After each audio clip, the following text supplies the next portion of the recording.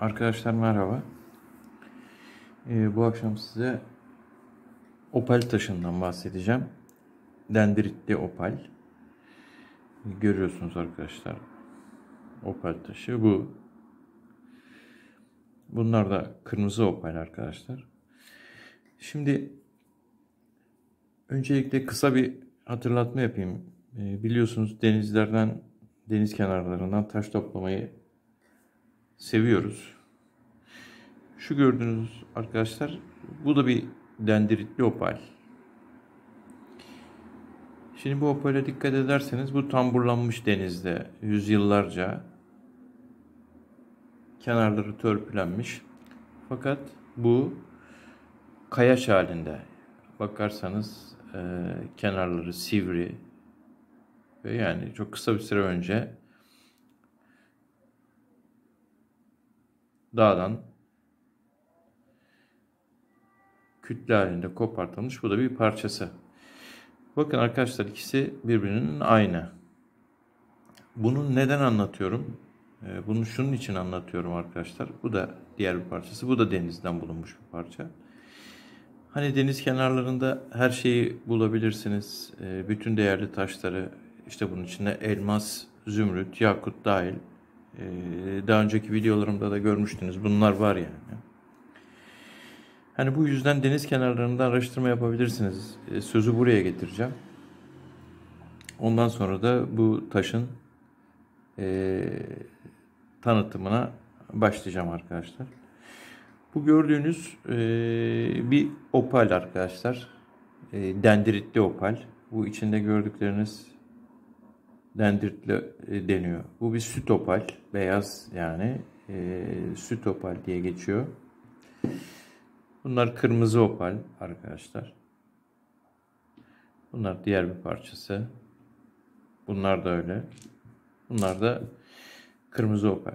Arkadaşlar bu yanlarında gördükleriniz yine bizim denizden bulduğumuz denizde kenarları aşınmış işte artık yüzyıllarca suyun içerisinde kalmaktan kenarları e, törpülenmiş, tamburlanmış bu hale gelmiş. Daha küçüğü gördüğünüz gibi bu da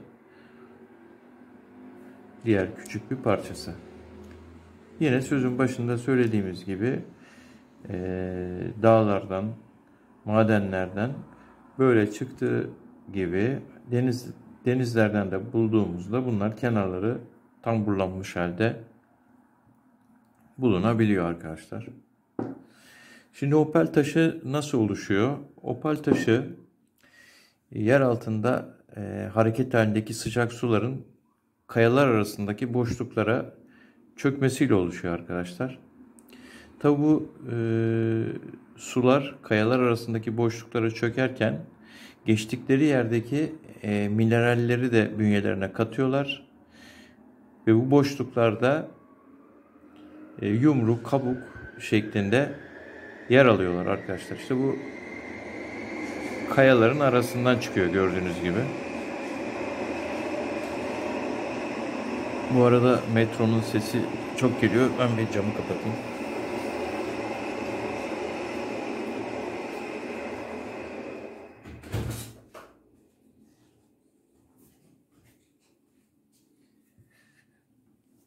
Evet arkadaşlar. Ve çeşitli renkler alıyor. İşte kırmızısı olabiliyor. Mavisi var. Ee, çeşit çeşit renklerde olabiliyor. Arkadaşlar bu opalin içerisinde yüzde 30 civarında su var arkadaşlar. Eğer ki e, bu suyu alırsanız e, ileriki videolarımızda bahsedeceğiz. E, opal kalsedona dönüşüyor. Yani içindeki su suyu kaybettiğinde opal kalsedona dönüşüyor arkadaşlar. Böyle bir taşımız. Opal ismini e, arkadaşlar çok eski bir dil olan mistik bir dil. Sanskritçe'de taş anlamına gelen upala sözcüğünden geliyor opal. Şimdi belki Sanskritçe dilini daha önce duymamış olabilirsiniz e, Sanskritçe diye Uzak Doğu'da, bazı bilim adamlarına göre Orta Doğu, Hazar Denizi kenarlarında da konuşulduğu söyleniyor. Bir dil arkadaşlar. Bazı tarihçiler bunu sadece e, din ve bilim dili olduğunu söylüyorlar. Bazı tarihçiler de hayır diyor. Orta Doğu'da, Hazar Denizi kenarında, e, Hindistan'ın büyük bir bölümünde de Sanskritçenin benzer bir dili e, olduğunu, ondan gelişerek türediğini ve daha sonra Sanskritçe olduğunu söylüyorlar. Yani bu şimdiki konumuz bu değil ama kısa bir e, bilgi vermek istedim. Arkadaşlar teknik olarak e, sertlik derecesi 5,5-6 civarında e, bir kuvars çeşidi bu taş, opal dediğimiz. Bünyesinde su bulunduruyor. E, renk olarak birçok rengi var arkadaşlar. İşte burada zaten e, süt opalini görüyorsunuz. Bu süt opali, kırmızı opal, pembesi var, mavisi var, gökkuşağı renginde olanları var. Işıltılısı, yarı saydamı, çeşit çeşit arkadaşlar. Sadece burada işte iki çeşidini görüyorsunuz. E, dünyanın birçok yerinde çıkartılıyor. Avustralya, Meksika, Peru, Türkiye, Macaristan, e, gibi yerlerde. Türkiye'de özellikle ocakları Afyon, Çanakkale, Eskişehir, Kütahya gibi yerlerden çıkıyor. Arkadaşlar bu taş hakikaten e, birçok yerde kullanılıyor. Örneğin e, yüzük, kolye yapımında. E, şu anda e, örneklerini göstermek isterdim ama yok. Çok fazla e, burçlar konusuna girmek istemiyorum ama mutlaka merak edenler vardır. E, bu taş e, terazi, kova, akrep, balık ve yay burcunun e, taşı arkadaşlar. Bir daha tekrar edeyim. Terazi, kova, akrep, balık ve yay. Tabii her taşın olduğu gibi bunun da enerjisi var arkadaşlar. Bunun enerjisi e, nelere iyi geldiği ile alakalı. Taşların yaşadığına inanılıyor arkadaşlar. Ben de bunlardan biriyim. E, yani bu taş hakikaten bütün taşlar gibi bu taşın da çok güzel bir özelliği var. Ondan bahsedeceğim size. E, biraz şaşırtıcı olabilir. Eğer bu taşı üzerinizde taşıyorsanız ve gerilimli olduğunuz, çok gerilimli olduğunuz bir ana rast gelirseniz bu taş içindeki suyu bırakıyor arkadaşlar.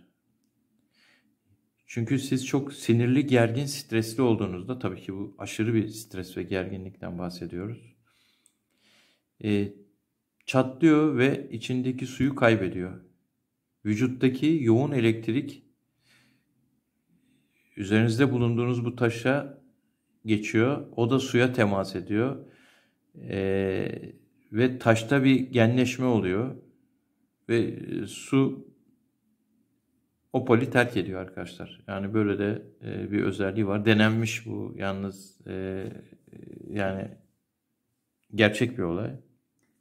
Ol, ol, olduğu söyleniyor değil, denenmiş. Şimdi arkadaşlar bu taşla alakalı böyle e, her taşta olduğu gibi mistik bazı şeyler de var. E, gelecekle ilgili rüyalar hani bizim de bildiğimiz istiyare diyebiliyoruzdur. Tabi bunu e, sadece bizde yapılmıyor, başka yerlerde de yapılıyor mutlaka. E, bu taş da bir bu kullanıldığında gelecekteki olayları doğru görmeye yarıyor arkadaşlar ön sezi yeteneğini de güçlendiriyor. Üzerinizde taşıdığınızda yani ön sezi yeteneğiniz e, artıyor. Yine e, cesaret veriyor arkadaşlar. Yani böyle e, özgüven, cesaret veriyor. Negatif duygularınızı alıyor. Size pozitif e, duygular aşılıyor. Tabi üzerinizde taşıyıp teninize temas etmesi gerekiyor. E, akıl ruh sağlığını dengeliyor. Bir de aynı zamanda özgüven taşı arkadaşlar bu. Özgüveni arttırıyor. Hayatımızda büyük değişiklikler olmuşsa eğer e, bunlarla alakalı tekrar e, sürecin düzgün bir hale gelmesinde yardımcı oluyor. Hafızanızı arttırıyor arkadaşlar. Bu odaklanma sorunu olan arkadaşlarda önemli olabilir. Bunu da yine arkadaşlar e, geçen gün anlattık ametist taşında olduğu gibi. Bunu başucunuzda taşırsanız yastığınızın altında kabus görmüyorsunuz. Güzel güzel rüyalar görüyorsunuz arkadaşlar. Ben denedim hakikaten e, güzel rüyalar görüyorsunuz. Eğer bu taşı e, yanınızda başucunuzda bulundurursanız. Arkadaşlar dediğim gibi bu opal hakikaten güzel bir taş. Bunu e,